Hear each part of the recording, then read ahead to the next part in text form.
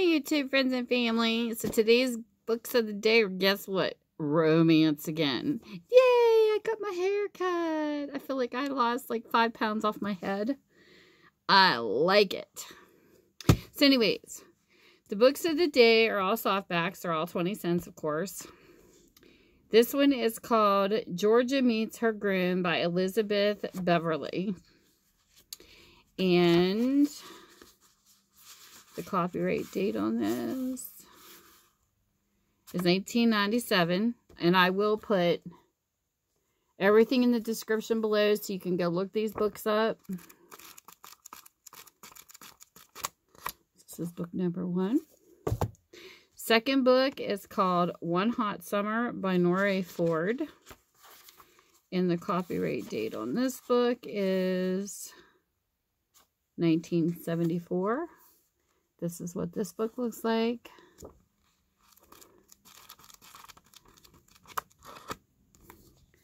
And then we have a book called My Sister's Keeper by Rachel Lindsay. And the copyright is 1979. The Harlequin Presents.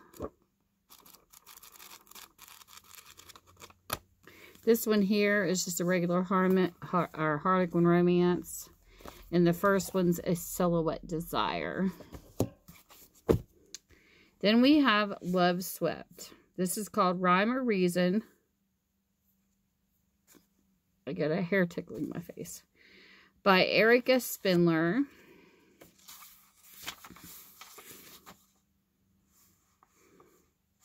Nineteen ninety. That's what this book looks like.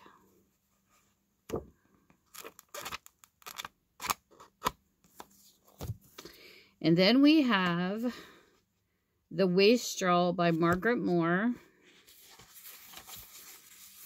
It's a Harlequin book, 1996. That's what this looks like.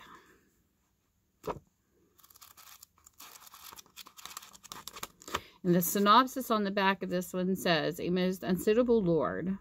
Clara Wells' eccentric family drew enough sidelong glances her way that she could do without the attentions of London's most notorious rake. The sinfully charming Lord Mulholland was renowned for getting whatever or whomever he desired.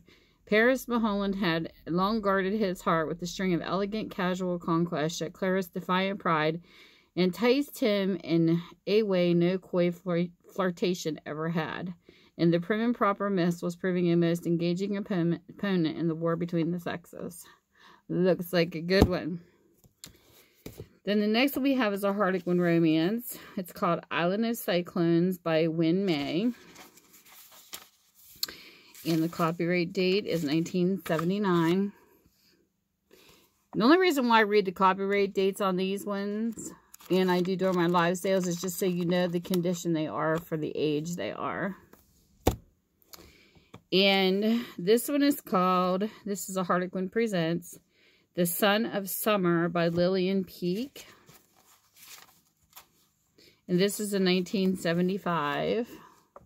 It's got a little marks there. Some marking in there. But the rest of the book is good. It's just like names or something people marked off. I get that a lot. Then we have Live for Love by Shana Carrol. And the copyright on this one is 1984.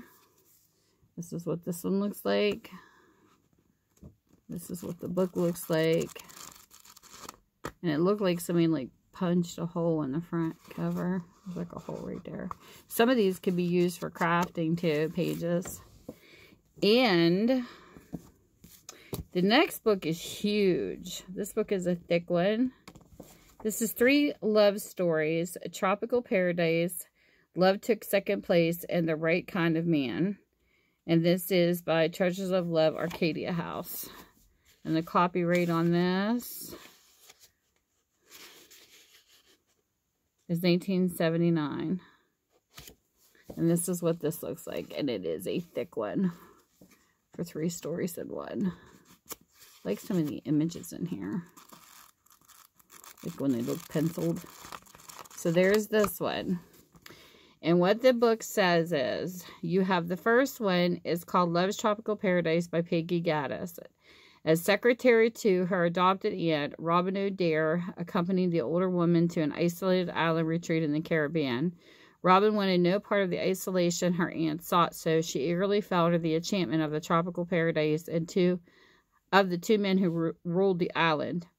Then you have book two, which is Love Took Second Place by Jeannie Bowman.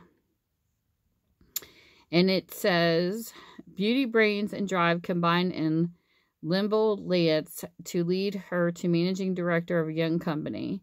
She could organize and control and succeed in anything she attempted, but when she realized that this control was including Ross Miller, the man she loved, Lynn Bell stepped back for a good hard look, and what she saw shocked her. Ross was in love with another woman. Then you have The Right Kind of Man by Florence Storett. And this was says Pat Bailey hosted a popular radio show in which she gave advice on love, life, and loneliness to her listeners. But in her private life, Pat had vowed never to fall in love again after her fiance was killed in a plane crash. Offered a sensible marriage by one man, Pat then found that another caused a quivering excitement in her heart. So there you go, three exciting stories. And the last book is Search for a New Dawn by Billie Douglas. And the copyright is 1982. This is what this book looks like. And it's got some writing again in it. And some age pages.